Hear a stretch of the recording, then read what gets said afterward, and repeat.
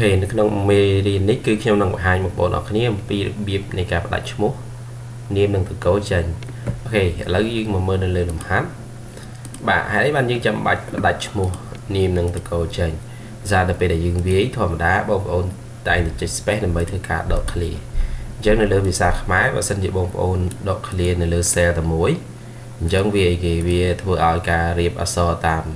អក្សរក្រមហ្នឹងគឺវាអត់ត្រឹមត្រូវទេ អញ្ចឹងយើងអាចផ្ដាច់វាមកដាក់ពី cell ពី column ផ្សេងគ្នាដើម្បីអាចរៀបឈ្មោះទៅតាម column ណាមួយដែលយើងចង់បានជាហ៊ានដំបូងគឺបងប្អូនអាចធ្វើការ copy ឈ្មោះនេះហើយចំពោះលំហាត់បងប្អូនអាចទីយកនៅខាងក្រោមវីដេអូនេះអញ្ចឹងខ្ញុំមកស្ដាប់ខ្ញុំ copy ហើយខ្ញុំមកផាសកន្លែងនាមនេះនាមកូដនាមគឺឈ្មោះខាងមុខហើយនាមគឺឈ្មោះខាងក្រោយអញ្ចឹងយើងអាចរៀបតាមអក្សរក្រមតាមឈ្មោះខាងក្រោយក៏បានតាមឈ្មោះខាងមុខក៏បានអញ្ចឹង OK តមកនេះពេលយើង copy ផាសមកបងប្អូន select នៅលើវាទាំងអស់មកបាទបន្ទាប់ពីយើង select នៅលើវាទាំងអស់ហើយបងប្អូន OK បងប្អូនវាយនៅ key មួយគឺ key control បាទបូកជាមួយនឹងអក្សរ H OK បូកជាមួយអក្សរ H នេះគឺដើម្បីឲ្យវាចេញ replace OK បាទដូច key ដែលខ្ញុំបង្ហាញនៅលើហ្នឹង control អក្សរ H មកវានឹងចេញ replace កន្លែងនេះ ពេលចេញ replace កន្លែងនេះគឺកន្លែងនេះគឺសូមបងប្អូនធ្វើការវាយសញ្ញាផ្កាយនៅទីនេះហើយ space ដក ឃ្លា មួយអញ្ចឹងកន្លែងនេះគឺវានឹងធ្វើការកាត់រាល់ឈ្មោះកន្លែងណាដែលយើងទៅសេមាន space អូខេបន្ទាប់មកខ្ញុំយក replace all មកអូខេបាទបងប្អូនឃើញអញ្ចឹងវានឹងចេញបានតែគេគឺសុកលៈគឹមហេងហើយសុកហេង OK ឥឡូវយើងធ្វើម៉េចដើម្បីបាននៅ OK នៅនាមនាមត្រកូលនេះគោត្តនាមនេះបាទ បាទដើម្បីបាននៅនេះបងប្អូនដាក់ cell នៅកន្លែងនេះហើយបងប្អូនវាយនៅរូបមន្តមួយគឺរូបមន្ត left OK ខ្ញុំ tab វាយកមកប្រើបាទ lab នេះគឺយើង lab យកនេះអូខេ lab យកនេះហើយយើងក្បៀសវាមួយហើយឬក៏បងប្អូនចូលមកកាន់ទីនេះមកដើម្បីស្រួលបាទខ្ញុំបរិយធំអញ្ចឹង lab នៅនេះគឺបងប្អូនត្រូវតែយើង LAN យើងធ្វើការរាប់បងប្អូនវា LAN បាទ LAN គឺ LAN នៅណាបាទ គឺយើង LAN នៅនេះយើងអាចចុចនៅលើនេះក៏បានហើយខ្ញុំបិទវាចោលតបមកខ្ញុំយកវាមកដកជាមួយនឹង LAN នៃនៃនាមអូខេនៃនាមរបស់យើងគឺអានេះអក្សរ D អញ្ចឹងវា D មកកន្លែងនេះគឺ D2 អញ្ចឹងខ្ញុំបើកវាវិញខ្ញុំ D មកគឺ D2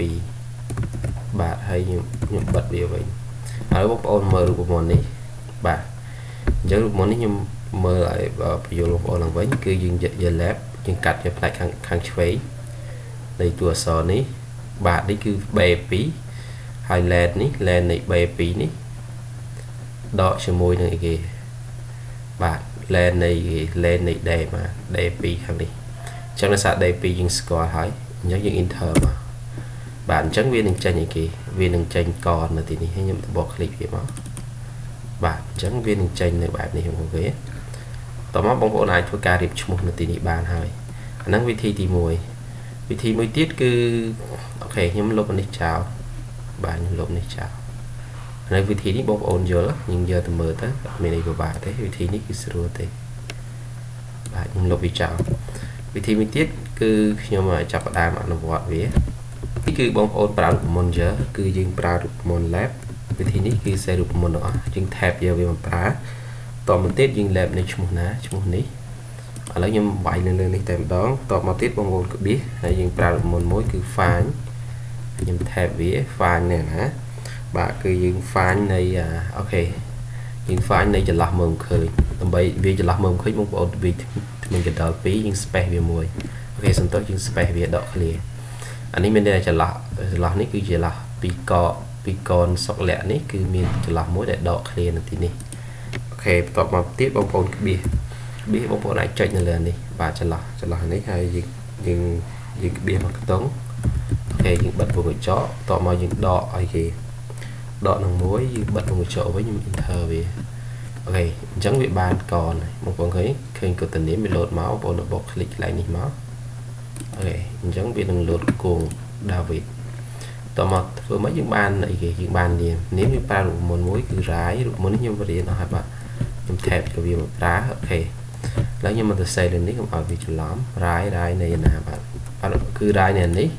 តបមកខ្ញុំក្បៀសមួយ គឺខ្ញុំប្រើរូបមន្តមួយទៀតគឺរូបមន្ត land ខ្ញុំថែបយកវាប្រើ land នៅនេះអូខេខ្ញុំបិទអូខេខ្ញុំបិទពងកញ្ចក់ហើយខ្ញុំដក file ខ្ញុំប្រើរូបមន្តមួយទៀតគឺ file អូខេខ្ញុំ tab យកវាប្រើ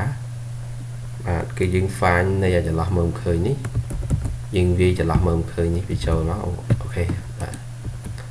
អានេះអូខេចន្លោះមើលឃើញនេះ space វាតមកបងប្អូនក្បៀសមួយក្បៀសនេះចុចលើនេះបាទបន្តមកទៀតយើងក្បៀសមួយយើងវាលេខ1ហើយយើងបិទកញ្ចក់យើងបិទកញ្ចក់គ្រប់ចំនួនលើវាវិញបាទនេះគឺរូបមន្តនេះរូបមន្តនេះគឺប៉ុណ្នេះអញ្ចឹងខ្ញុំបញ្ចូលរូបមន្តនេះគឺបងប្អូនរាយរាយនេះណានៃកូដនាមគឺ B2 ហើយ LAN LAN ធ្វើការរាប់រាប់ចំនួនតួអក្សរនេះ ហើយយើងដកជាមួយនឹង find បើសិនជាយើងរកឃើញថាអានេះមានចន្លោះមើលឃើញមានន័យថាយើងកាត់យកអានេះមកខ្ទង់ហើយយើងបិទមួយចកខ្ញុំ enter វាអញ្ចឹងវានឹងលោតសុកលាក់បន្តិចតោះមកខ្ញុំបោះ click លើវាមកបាទគឺវានឹងធ្លាក់ចុះខមកបងឃើញទេអញ្ចឹងវានឹងធ្លាក់ចុះខមកទៀតខ្ញុំបញ្យល់រូបមន្ត LAN បន្តិច LAN នេះជាធម្មតាវាធ្វើការរាប់ចំនួនហើយបាននៅលើនេះវាអូខេឧទាហរណ៍ខ្ញុំមើលទៅនេះគៀ NIDA នេះ បើសិនជាយើងរាប់តួអក្សរទៅវាមានឥឡូវខ្ញុំប្រើរូបមន្តមួយ LAN អូខេខ្ញុំ tab ខ្ញុំចុចនៅលើនេះខ្ញុំបិទមួយចកខ្ញុំ enter បងប្អូនឃើញវាមាន7តួអក្សរក៏ពិតអក្សរក1ស្អា2ន3ស្អី4ត5អាមួយទៀតគឺ6ឯងប៉ុន្តែហេតុអីបានវាមានដល់7ដោយសារវាមានចន្លោះដក clear នៅកន្លែងនេះមួយបាទបើសិនជាយើងលុបវាចោលខ្ញុំ len សារថ្មី ឃើញវាចេញដល់6បងប្អូនឃើញទេប៉ុន្តែនៅពេលដែលយើងដក clear មកហើយបានជានេះវាវាមានបញ្ហាវាបាត់នៅទិន្នន័យដោយសារតែកន្លែងនេះមុនដំបូងវាដក clear កាលណាយើងយើងចុចអត់ដក clear វានឹង load នៅវា score value នេះពេលយើងដក clear វិញមកយើងធ្វើមកគឺវានឹង score វិញបងប្អូនយល់ទេ